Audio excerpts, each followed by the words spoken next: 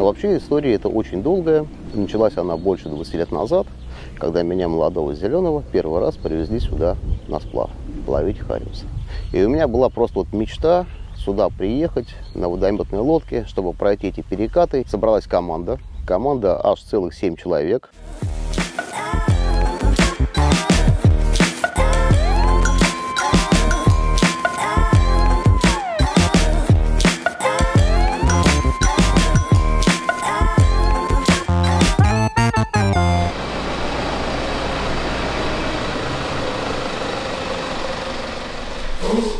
Вещичек у нас много, народу у нас много.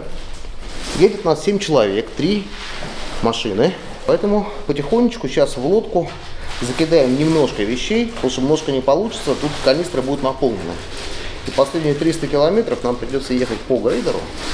Поэтому немножко кидаем в лодку, немножко едем до точки. Куда поедем, я не скажу. Едем мы на север.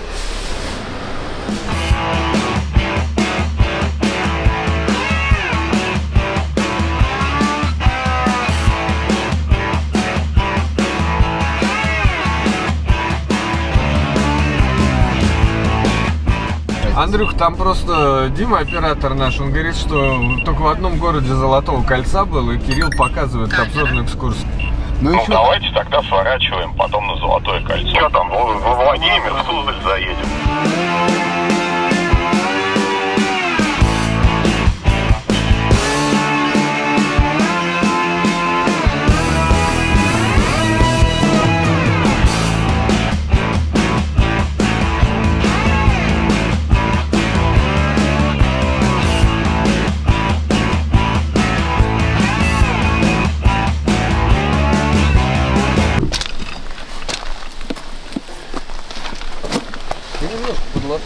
Новенькая, да, у тебя? Ну да, тут это, блин. Скотч есть. Да, есть. есть. Ну, как всегда, приключения мы не ищем, они нас сами находят. Минус колесо, потому что боковой порез на грейдере. Как всегда, типичная больная тема северов. Это когда идешь по грейдеру, камушек вылетает и режешь тебе бок колеса. Ну вот, Андрюх попал. Теперь он без запаски.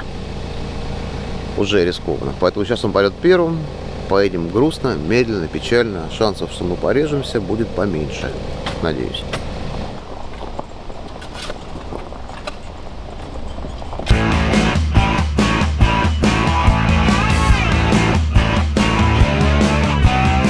Что я могу сказать?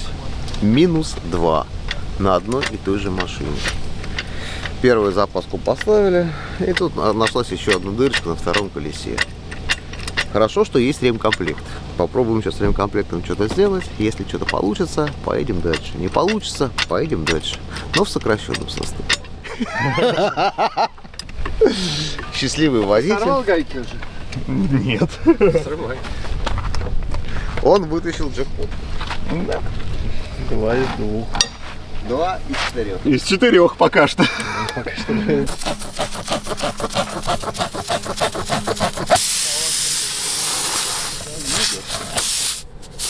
Пальцем зажми, пожалуйста. В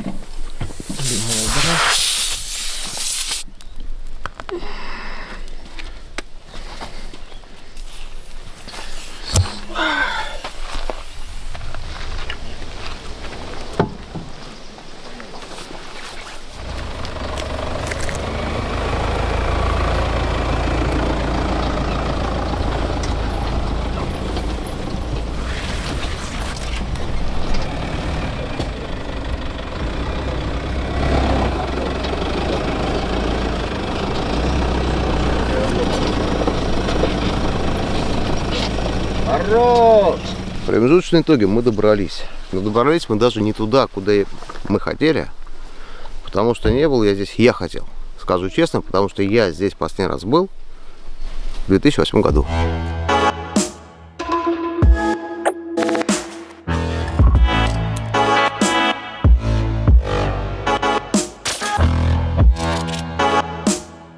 Много воды утекло в этой речке. Хариуса вот пришли на берег, уже видели. Мы не там, куда я хотел приехать, но мы на берегу. У нас есть лодка, у нас есть забродники.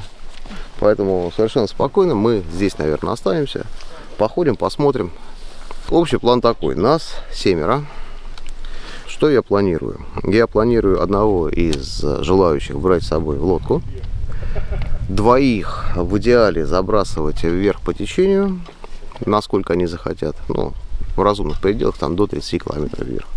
А сам буду ходить вот с одним человеком, смотреть, искать и ловить. Двое у нас всегда будут на базе. Не потому, что мы боимся здесь людей, с людьми здесь все в порядке, а вот зверь здесь есть. И мишки, и кабаны, и, в общем-то, другие всякие нехорошие личности, которые могут прийти и просто сожрать все, что плохо лежит, подрать все, что хорошо лежит, ну и устроить маленький шмон. Нам этого не надо, поэтому двое на базе, двое на заброске и двое, я еще один в лодке где-то пытаемся поймать что-то зачетное. У нас впереди 4 дня. Времени на самом деле не так уж и много. Но мы постараемся. Сейчас сразу ставим базу, лагерь. Все, пошли работать.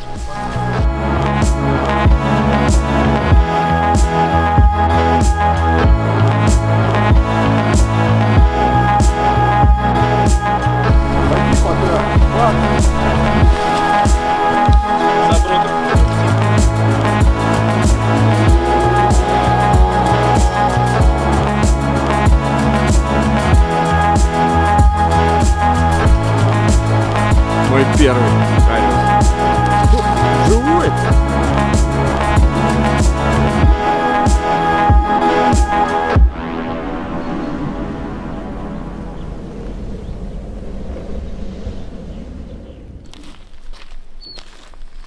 Сейчас подготовим тузлук. Тузлук – это соляной раствор, в котором будет солиться рыба для копчения. Соответственно, все ребята, которые поймают рыбу, будут ее сразу потрошить, так как хариус у нас долго не хранится, и класть в контейнер с тузлуком. Наберем воды. Водичка чистая, прозрачная. И сделаем нужную консистенцию раствора. У нас здесь примерно 5 литров воды. Как бы соли, хариус, рыба достаточно нежная, ее сильно пересаливать не нужно. Соответственно, здесь где-то грамм 600-700 соли. Это будет как раз обычный классический раствор килограмм на 5 литров. Но для хариуса много не надо. Соль обычная пищевая. Здесь, к сожалению, мелкая. Я предпочитаю крупную. Но имеем, что имеем.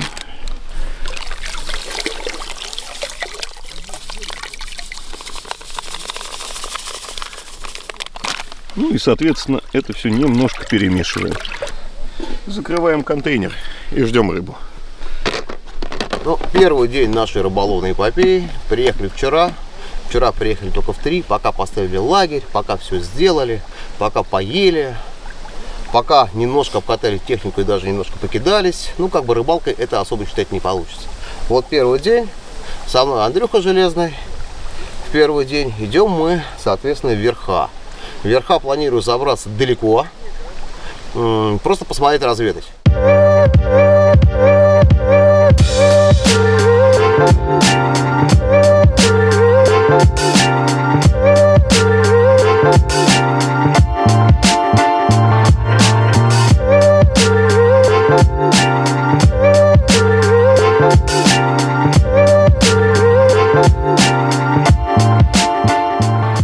Мы сейчас причалили к берегу. Мы поднимаемся вверх по реке. Прошли примерно двадцатку, 20 километров. И причалили мы здесь не просто так. Моя личная инициатива, это моя ностальгия. Вот с этого места началась моя эпопея на этой реке. Первый раз мы сюда пришли, потому что доехать на машине сюда невозможно. 6 километров пешком. И первый раз мы по этой речке сплавились, наловили кучу хариусов. И это было, не соврать бы, в году так 2000, ну, наверное, в 2002. Может быть, в 2001. Уже не помню, давно было очень. И вот с этого момента я здесь был несколько раз. Но, как уже говорил, последний раз был 16 лет назад. И вот я вернулся, вернулся на подометной лодке, чтобы можно было ходить дальше, ходить далеко. Сейчас мы пойдем а, в сторону туда, куда я ходил максимум пешком на 7 километров, вверх по, по реке. И хочу это проскочить, посмотреть, что же там дальше, что там за следующим поворотом. Чем кайф вот такой рыбалки, Никогда не знаешь, что тебя ждет там. Классный перекат или абсолютно неинтересное место. Ну вот сейчас проскочим еще километров, наверное, 10-12. Посмотрим, что к чему. И начнем потихонечку сплавляться. Сплавляться там как раз примерно день. Вот он хороший. Вот это нормально. О. Вот. Ать. Вот это первый более-менее зачетный хариус. Ну да, уже темненькие. Да, это уже зачет. Это уже зачет. И вот смотри, и вертушка, и, соответственно, Ну и джик тоже метрошечка, и джик. Красавец. ловит. Ага, смотри, какие яркие. Яркий, да. Вот это уже интересно. Ну вот мы начали ловить. О, о, о, покажись, похвались. Хороший. Плотничок. Ну еще, конечно, это не трофей, это даже не зачет. небольшой. Это просто как бы хорюзенок. Вот такой у нас. Дуплет. Дуплет. Так удобно, говорю, никто не мешается. В лодке ее сталкивают, спихивают. Давай садись уже. Можно идти. Вот он. Я же говорю, этого его Хариуса поймаем. О, побольшие. Копейка и с мухой. Вот я вчера ловил без мухи, было куча поклевок и ни одной рыбы. Сейчас вот это Мэпс Аглия единица. Вода дико низкая. То есть вот, ну, я понимаю, здесь, короче, сейчас минимум полметра разница. Минимум, по моему ощущению, она должна быть выше упарились сюда идти, но дошли. И вот мы ловим в местах, где я не был здесь ни разу. И вот, вот оно ловится. Вот очередной. Поклевка. Догоняет, догоняет. Второй раз. О, и в- ударил. Да, хороший. Этот покрупнее, мне кажется. Ага, вон, я даже завести блесну не успел. Да, эти покрупнее. Смотри, как красиво. А у меня малюсенький. Догонял три раза, три удара, и только потом решился клюнуть. А я даже не успел завести блесну. Сколько это? Грамм 300? Как на весь тройник, ну я так. Грамм 300. Харюзеныш. Красивый, красивый. Красиво зато вот смотри, полничок. Да, а тут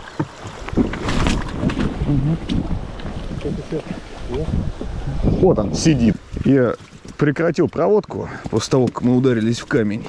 И в этот момент на паузе сел вот такой вот небольшой харьюзок. А мы сейчас снова влетим в берег.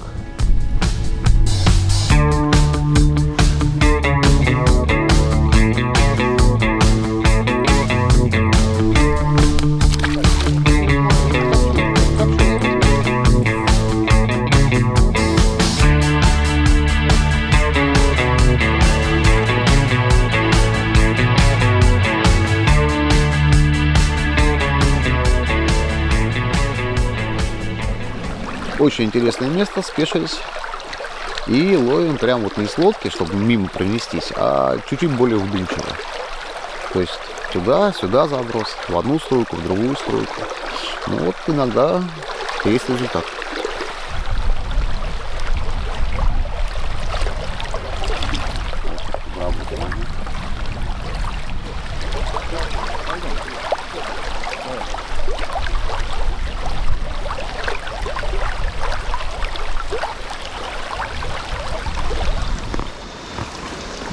Ну такой, как бы.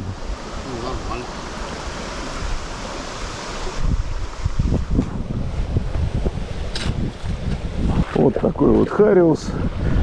Он там очень красивая обратка на перекате. Естественно, я не мог не сделать туда заброс. И вот такой вот не сильно большой, но уже и не сильно маленький. Приятный харьюзок.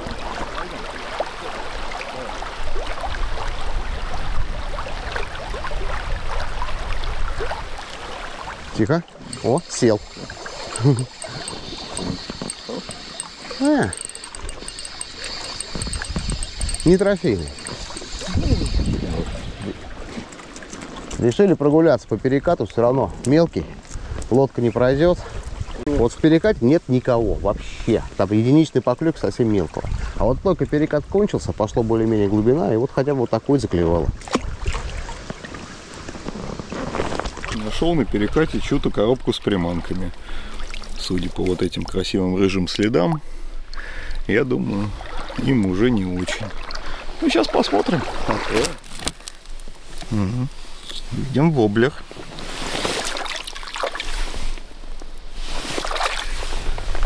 Страйк Про. Опа, еще облик.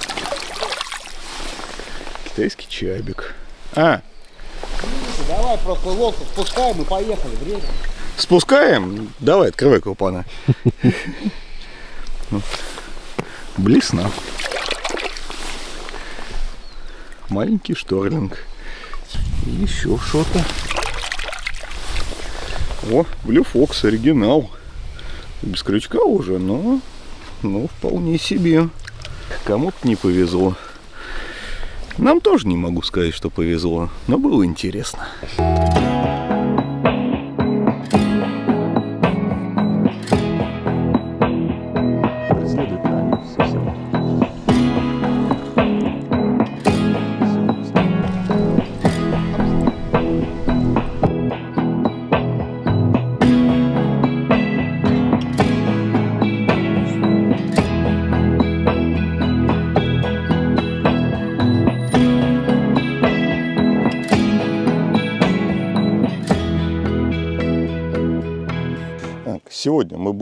Коптить хариуса в походных условиях.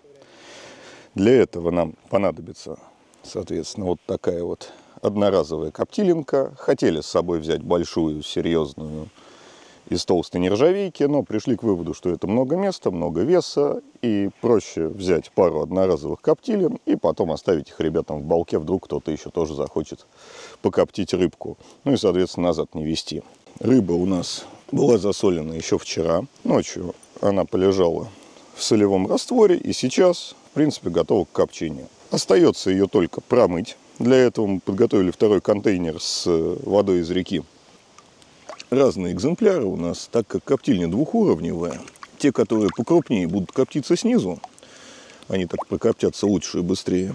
А те, которые помельче, останутся сверху и тоже прокоптятся и не сгорят. При промывке рыбы после соли можно, конечно, ее протереть насухо. И это, наверное, даже правильно. Но так как мы в походных условиях, и желание протирать каждую небольшую рыбку у меня, если честно, отсутствует напрочь. Так, теперь перейдем к коптильне.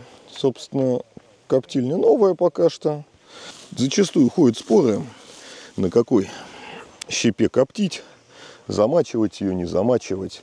Э, Мое мнение, все максимально просто. Я щепу не замачиваю, сыплю сухую. В такого рода коптильня она прекрасно напитается влагой за то время, пока начнет стекать рыба. Как бы в коптильнях другого вида, там, вертикальных и так далее, она из закрытого цикла также прекрасно пропитается влагой. То есть вот это вот какое-то замачивание. И тоже к вопросу о дереве, из которого сделана щепа. Кто-то говорит, что лучше на фруктовых, там яблони, груши, вишни. Кто-то на даже на хвойных породах коптят, я знаю. Ну, здесь у меня тоже все по классике, как бы обычная ольха. Здесь ее, конечно, вряд ли можно найти, но, естественно, мы привезли с собой. Вот такой вот мешочек покупается, и его хватает надолго. Значит, касательно щепы в коптильне.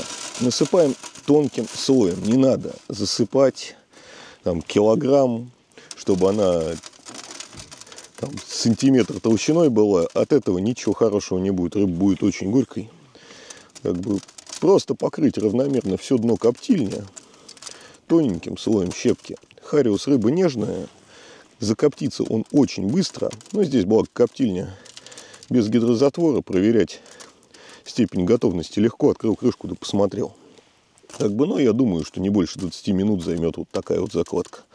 Коптильня абсолютно без разницы, будет открытый огонь или не будет, поэтому вот это вот как с шашлыками задавать угольки и язычки пламени заливать водой здесь, естественно, не надо. Просто накрываем костер куском решетки. В принципе, можем закладывать рыбу. Так, крупные экземпляры, если их, конечно, можно так назвать, кладем вниз. Есть. Ну, если там что-то прислонилось стенкам коптильни, да, оно может, конечно, прикипеть, но ничего страшного, как бы, если будет прилипнет носу хариус, я думаю, мы это переживем. в целом все. Во, а, отлично, как удобно и держится очень хорошо. Теперь аккуратно переносим, чтобы там ничего не упало.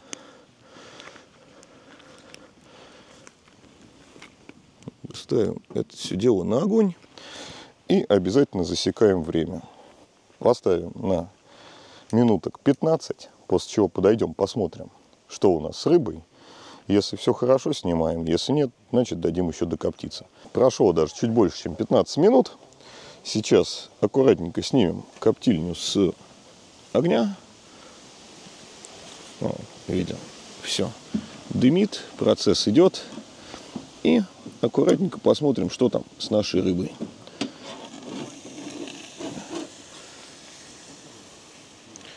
Я считаю, что идеально. Не пересушили, не перекоптили. Вот в таком виде оставляем ее часа на три, чтобы она остыла. Как бы закончится процесс копчения, потому что еще все равно щепа тлеет. И это важно, не доставать рыбу сразу. Но если вы, конечно, хотите скушать ее вот прямо здесь за столом, можно аккуратненько достать одну рыбку, но она горячая будет ломаться, будет рассыпаться.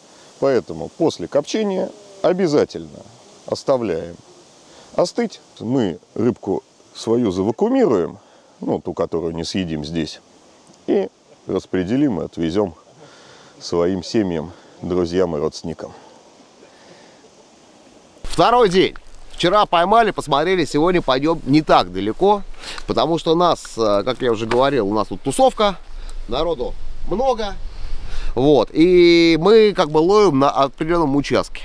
Чтобы каждый мог поймать, мы не по самым блатным местам ходим, а вот взяли участочек, пробили, сейчас следующий участочек, потом следующий, потом следующий. Для того, чтобы каждый имел шанс чего-то отдельное поймать. Хотя они и здесь ловят, но здесь размер немножко не тот. Вот.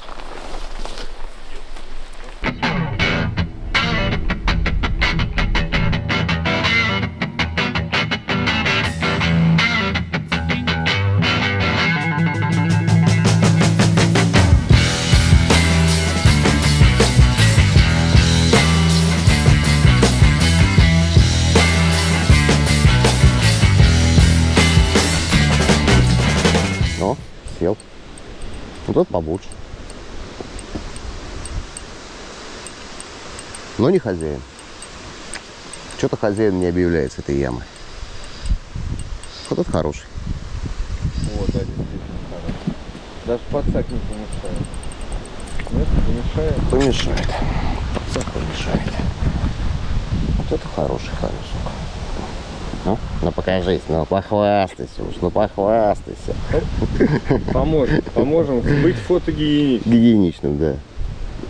Ну, это, конечно, мягко говоря, не трофей, но уже и не совсем мелкий.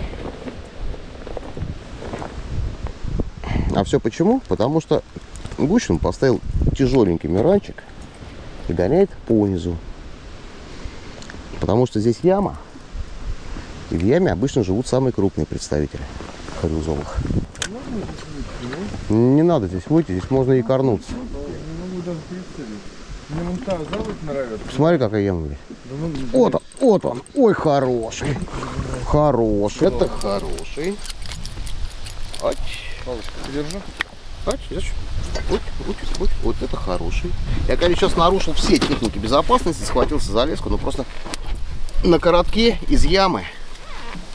По-другому-то как? По-другому никак. Это хороший хоречек. Приятненький уже. Есть за что подержаться, как говорится. О, Вот, отлично. Ну-ка, ну-ка. Лодочку.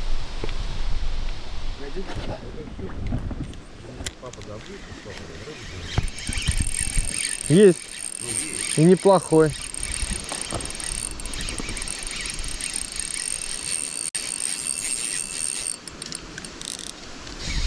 Очень неплохой, Кирилл. А можно мне подсак? Я, наверное, свою палку не подыму его.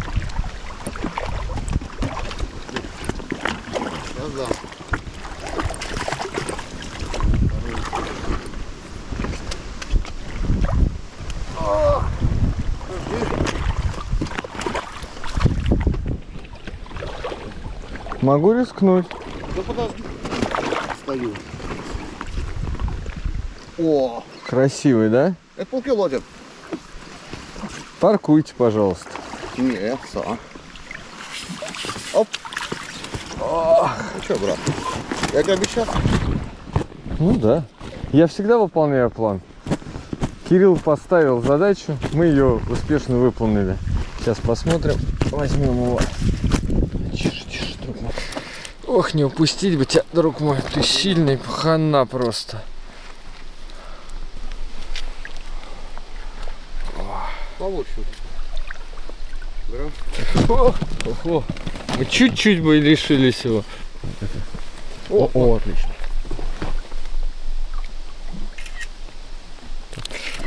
Давай еще раз. Как окуня. О. Вот так я его не упущу. О, красиво. Мармушечка. 0,7 грамм и маленький силикончик. Сейчас поправим хвостик и будем ловить дальше. Кирк, молодец, подсказал, куда кинуть. Вот он. Пошел. Не, добрал. Хороший. Хороший. Прям хороший-хороший. Поменьше, наверное, чем у Димки. Но тоже ничего. Сейчас, сейчас, сейчас, сейчас. Ач, ач, ач, ач. А может и не поменьше.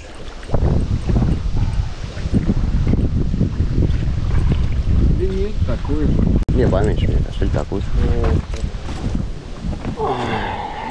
Ну, пока у меня самый крупный. Но это за полкило точно тоже. То есть вот абсолютно непримечательная точка ничем. То есть вот мы таких мест прошли уже, наверное, десяток. Нигде ничего. Тут хлоп, два хариуса очень хорошего размера. Почему, как, я не знаю. Я не понимаю. Я, я его не понимаю. То есть вот в этом плане Хариус очень трудно предугадать, где он стоит. Сегодня он стоит там, завтра сям. Причем вот сегодня места, которые вчера работали, сегодня не работают.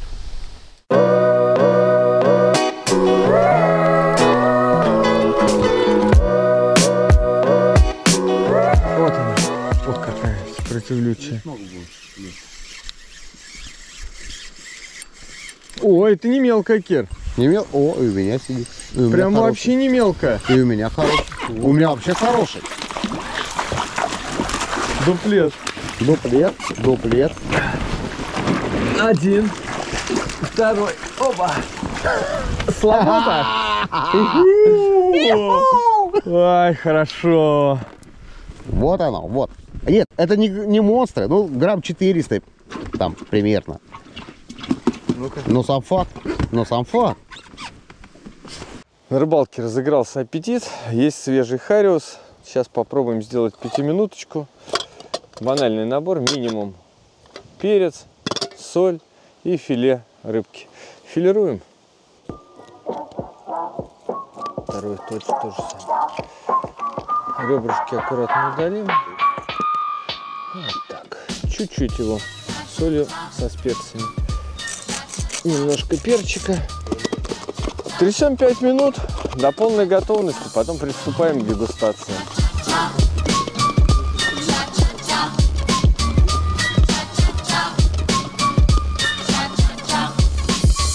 Да там минут не прошло.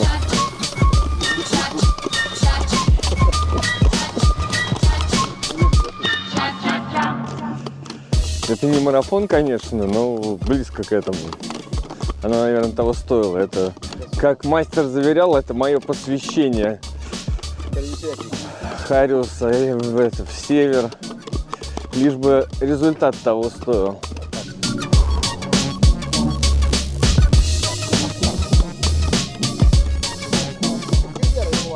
Я думаю, хорош. Нет? Давайте посмотрим, на что оно там стало похоже. Дим, дай Выглядит неаппетитно, А, выглядит но не... по вкусу давай, пробуй.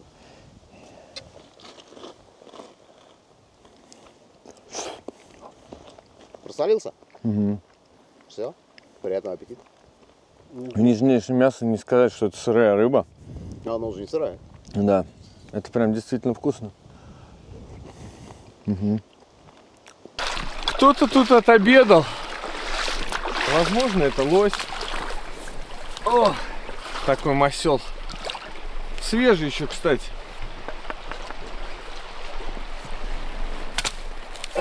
Реберная часть.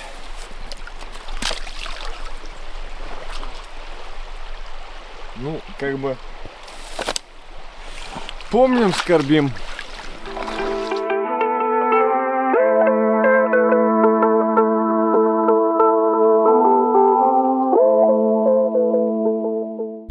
Расскажи, пожалуйста, что происходит? Э, Происходит. Пытаемся собрать походную банную печь, чтобы поставить сверху шатер, простую конструкцию. Вот там каркасный шатер, самый-самый простой. Возьмем рулон стрейч пленки, обмотаем все. Вот такая топочка будет. Найдена в лесу железяка. Сейчас она будет здесь, как каменка. С берега возьмем камней побольше. Хорошенько все протопится. После накроется уже готовым тентом из стрейч пленки. Когда уже полностью прогорит и угореть не будет у нас никакого шанса. И поливай немножко водички. Проживай тут неделю. Надо будет все-таки помыться.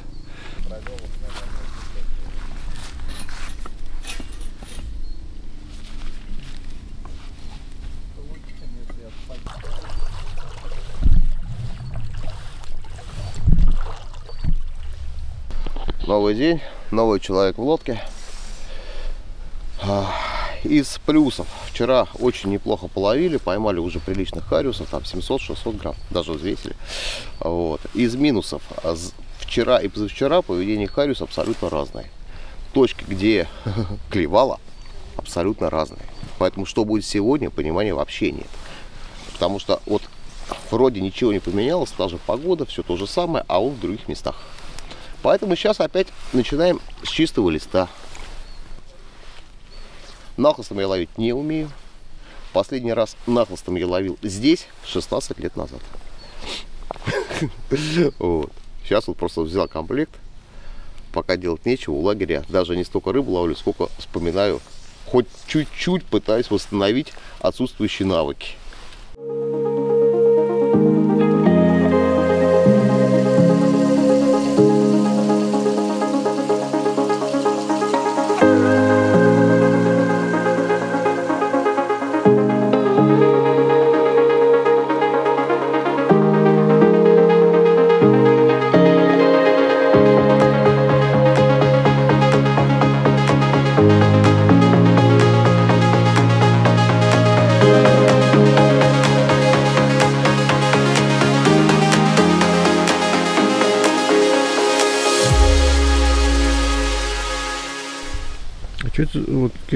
Это на кого у тебя? Это не его второй, это универсальное. Вот он. О, вот это нормально. Ой. Сошел, сошел, сошел.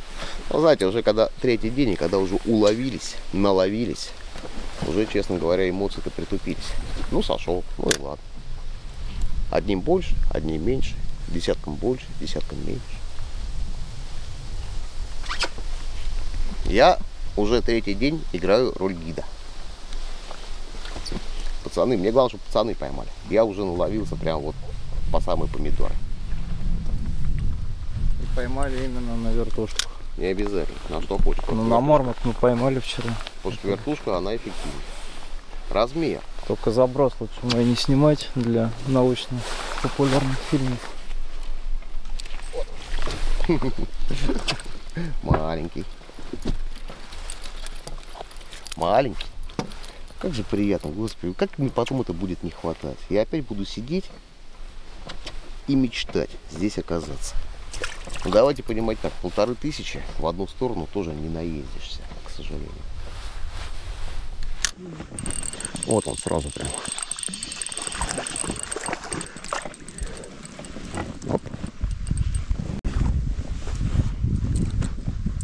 Поставил кометку Black Fury трешечку, чтобы уж точно не ловить мелочь. Ну вот сразу нормальная рыба.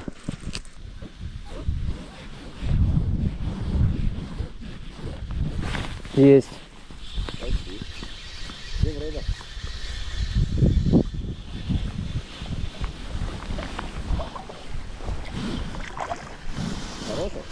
Ну, такое. Вчера бы сказал нормальное. Не,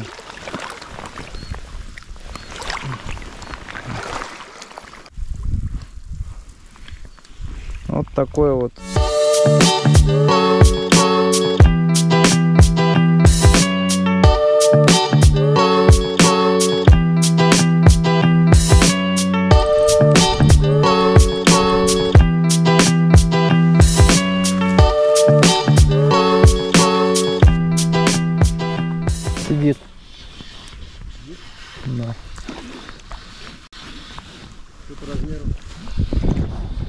Ну такой, неплохой вроде. Там лежат два дерева, короче. Я прям провел между ними. И вот такой вот.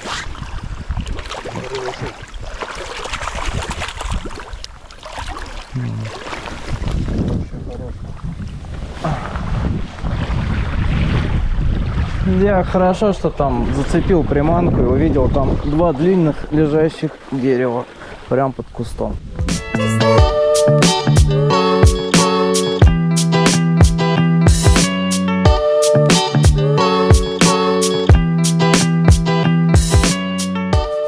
походная баня немножко от температуры деформировала, не имеет никакого функционального значения. Она работает, все здорово и замечательно. Значит, наши дрова.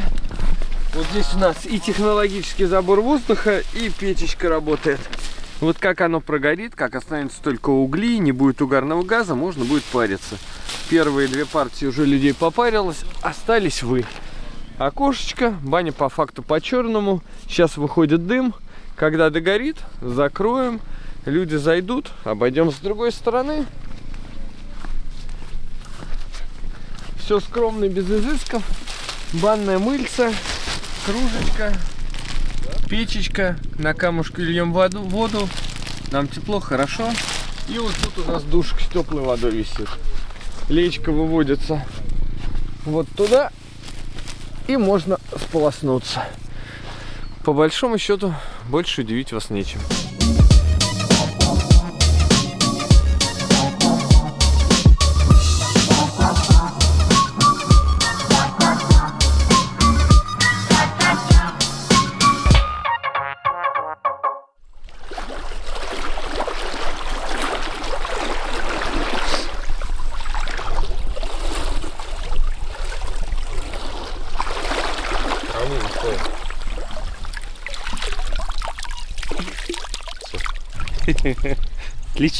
Рыбка пошла.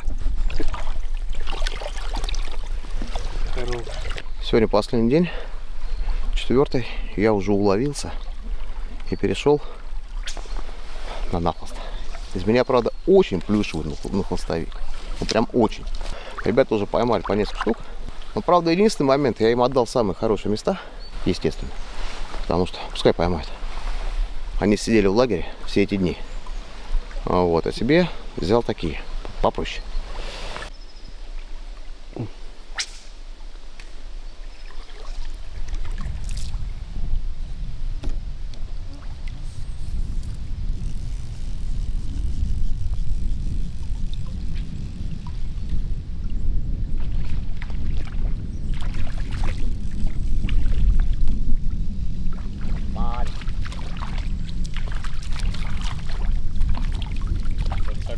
Нет, а то посадку.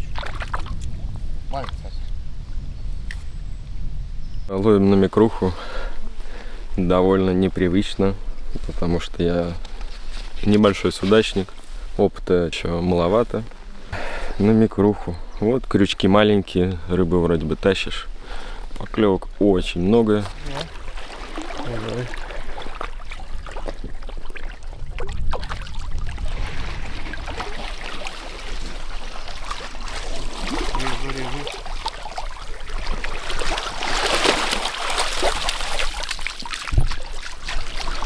Отлично, и еще и снялся.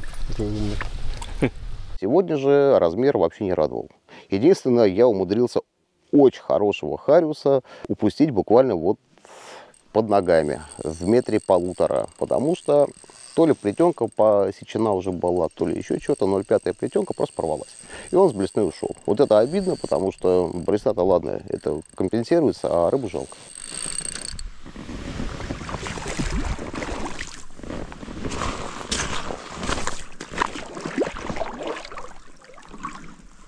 Самое неприятный момент из всего пребывания это то, что уровень воды слегка ниже того, который должен был быть. Сантиметров так на 50. Поэтому, честно говоря, физически мы умотались совсем. Почему? Потому что каждый раз, перед каждым серьезным перекатом, где уже даже водомет не проходит, нам приходилось вылазить и тащить все это добро вверх, потом вниз.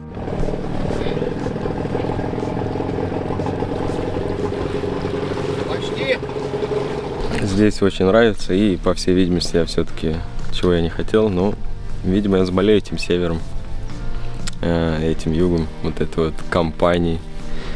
Очень душевно. Мой первый Харрис. Компания тоже замечательная, что Nord Stream, что все люди, которые здесь находятся.